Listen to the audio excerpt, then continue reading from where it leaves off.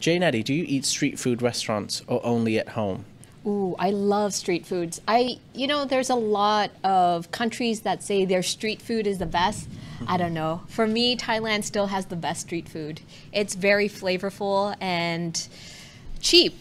That's the most important thing. Cheap, cheap, and nice. Yes. How about you? Uh, certain street food, yes. Mm-hmm. There are certain types of food that I feel it tastes the best when they're from the street. Yes, Does that mean, I like, agree. You know, like I don't know what might be. Give me a good example of like good street. What what's street food? I love any anything skewers. Like could be yes. chicken skewer. Yeah, chicken skewers. You know those.